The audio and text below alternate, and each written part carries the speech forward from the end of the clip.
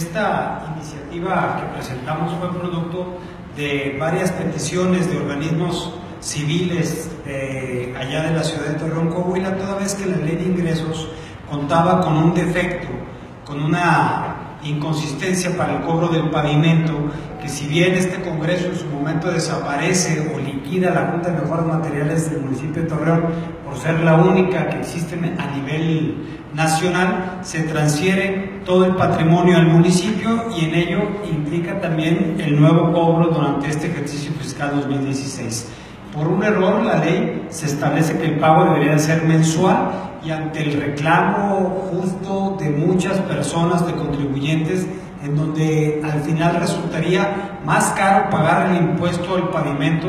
durante todo el año, durante mes con mes, al final sería más caro que el mismo predial que tiene que ver con el tema de la tenencia de los inmuebles. Se llevó a cabo esta iniciativa para precisar que el cobro que debe hacer el Ayuntamiento de Torreón en el caso de mantenimiento y conservación de pavimento debe ser anual en los términos y las cuotas que están fijadas en la ley. Creo que es oportuno que esta iniciativa y esta dictamen que presenta la Comisión eh, le dé certidumbre a los contribuyentes del municipio de Torreón, se corrige y bueno, es importante que sea a la brevedad, por eso pedimos el voto a favor de este honorable Congreso para pasar a corregir dicho error. Es cuanto, diputado é presidente.